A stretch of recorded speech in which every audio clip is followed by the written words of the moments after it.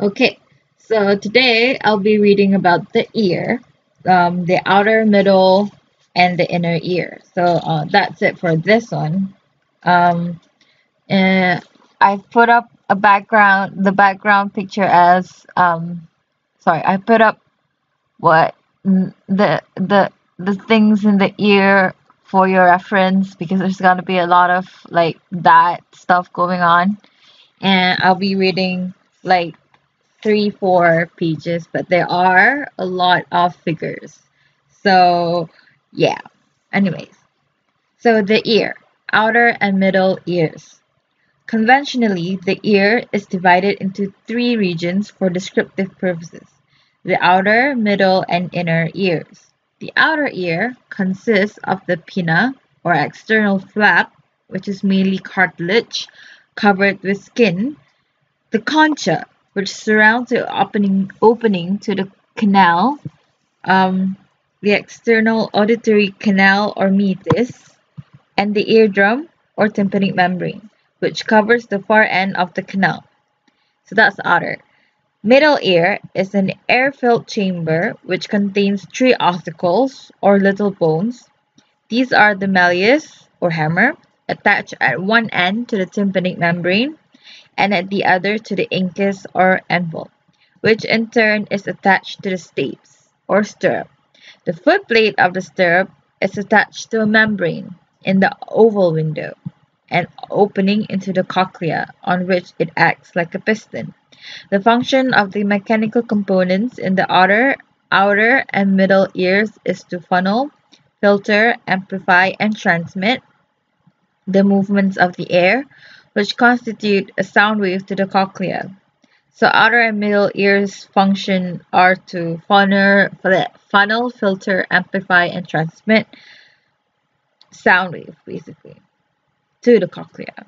Anyway, because sound waves are reflected off and within the pinna, it acts as a filter which is selective for the frequency of sounds, and the resonance determined by the diameter of the concha and external canal mean that they amplify some frequencies more than others. Okay, Teranishi and Teranishi. I don't know if I don't know what kind of name that is anyway.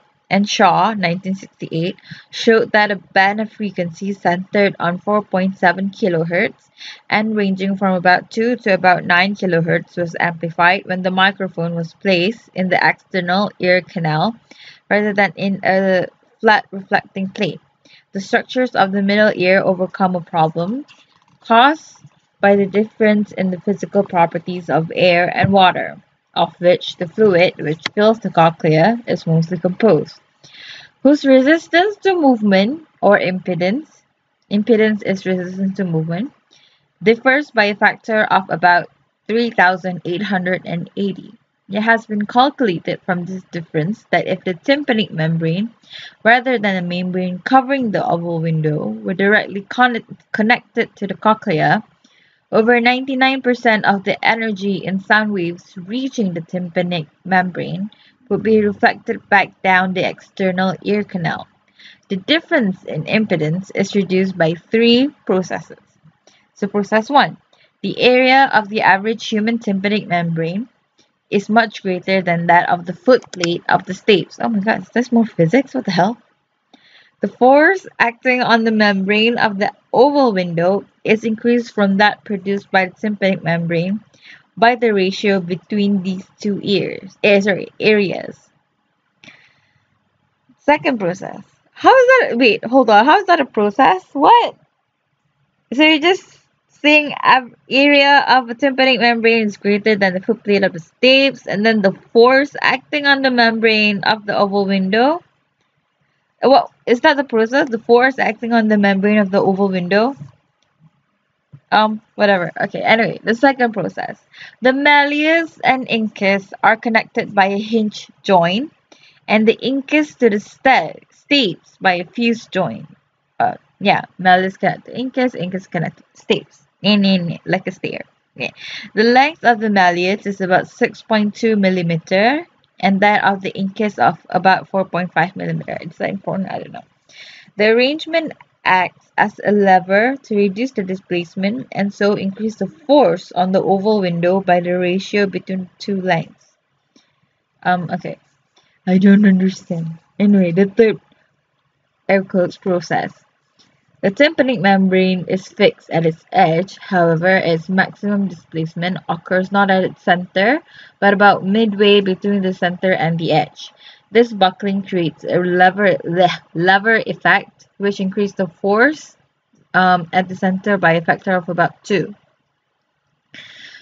this book is just talking about physics. This is not working for me. I swear. I wish I can like sell this back, but I already like scribble on it with pen. So, you know, never mind.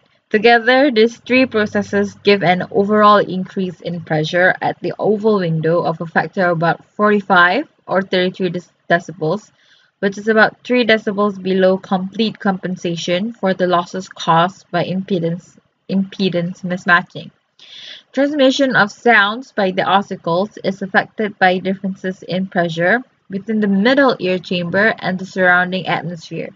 This is controlled by the Eustachian tube, which runs from the middle ear to the nasopharynx. Um, that's the place uh, uh, around your nose, if I'm not mistaken, and is normally closed by the tensor veli muscle.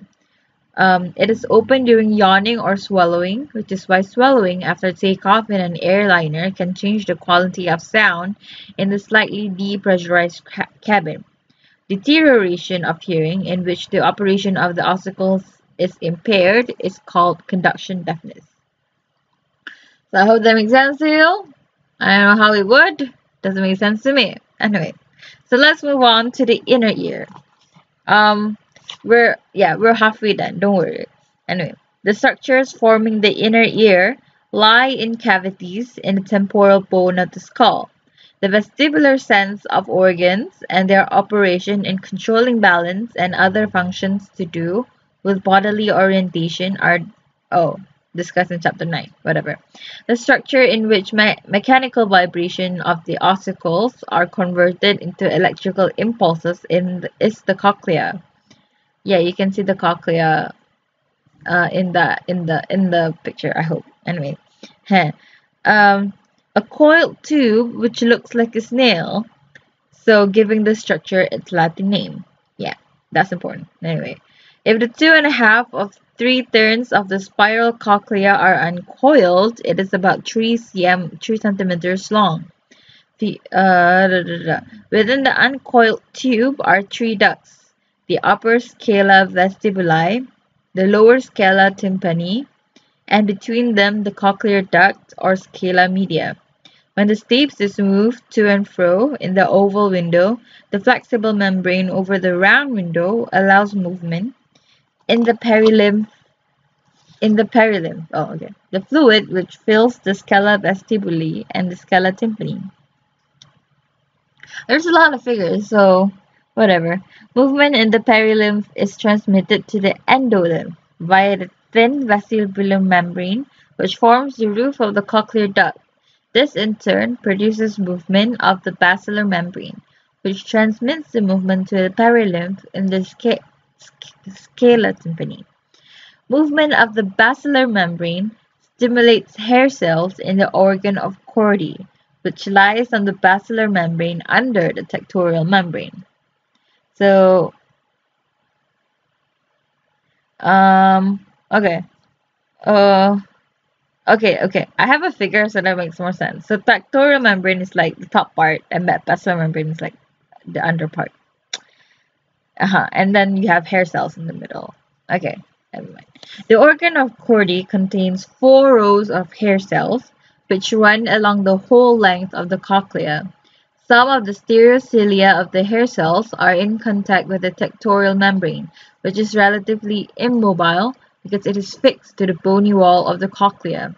When movement occurs in the basilar membrane, the stereocilia are displaced.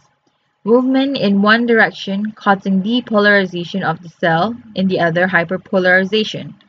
So, what does that mean? Um, I know polarization is like when you're attracted to one groups attract to something like you kind of get pulled by it. So depolarization means not getting pulled by it, I guess. Anyway, depolarization causes neurotransmitter, probably glutamate, release in a graded fashion, and sufficient transmitter causes an action potential in the sensory nerve. Okay, the single row of hair cells, known as inner hair cells, because they are nearest to the inner side of a cochlear spiral. Uh, so that's why it's inner. I've been wondering why it's called outer and inner when they're placed about the same exact height. Um, but I've been looking at it from like the top down, but it's really like from uh, left to right perspective. Anyway, so because they're nearest to the inner side of the cochlear spiral, has different properties from those of the three rows of outer hair cells. Most of the 30,000 afferent sensory fibers are connected to the approximately 3,500 inner hair cells, which thus appear to be largely responsible for conveying information about sounds to the brain. The 15,000 or so outer hair cells are thought to actively regulate the sensitivity of the cochlea. Depolar depolarization, produced by movement of the basilar membrane, produces a fast contraction of the cell, which causes movement of the basilar membrane, amplifying its vibration locally, and narrowing the extent over which it vibrates. Brodel 2004. Um, movement of the states cause a wave to travel along the basilar membrane from its basal region near the oval window to its apex in the helicotrema.